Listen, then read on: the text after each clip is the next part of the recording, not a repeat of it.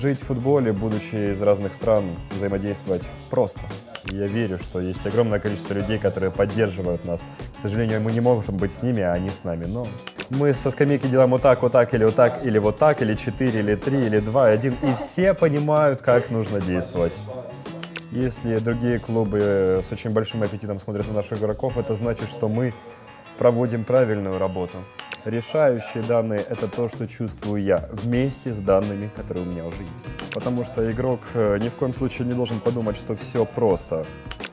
Поэтому я в футболе с 11 лет, уже 47 лет в футболе.